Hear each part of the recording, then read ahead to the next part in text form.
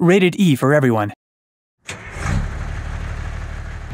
Welcome to Truck Driver, where you build your trucking career by hauling a wide range of cargo and make a name for yourself amongst the local community. Start from the bottom, take on jobs, buy new trucks and parts, and become a respected truck driver.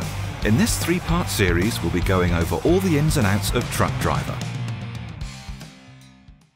In this episode, we'll take a look at all the characters in the world and what they can offer for your career. In the next episode, we'll take a look at the different kinds of jobs and missions you can take on in the game.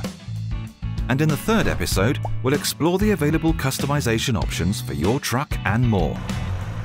Let's get started. The first thing we have to do before we can start trucking is choose our appearance. Let's go with this for now. You start your game with the truck you inherited from your father. Right from the start, you're able to drive anywhere you want in the world you can view potential destinations on your world map. Your uncle has let you know of an old friend who might have a job for you. Destination, the lumberyard. Let's go check it out.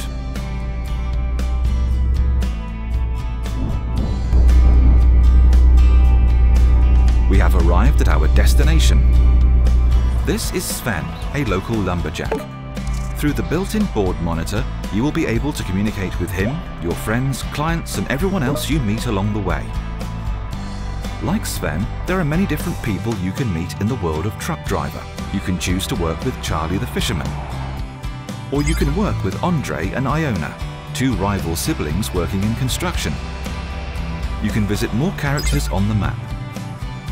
Each and every character has his or her own story, needs and personality. You will always know what cargo you are hauling, where you are driving to, and who you're delivering the cargo for.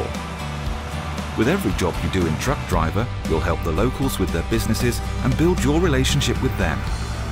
In return, they might trust you with more interesting opportunities, or even become your friends. Alright, now that we went to the lumber yard and agreed to help Sven out, it's time to hook up the trailer and hit the road. We will explore more Truck Driver in the next episode.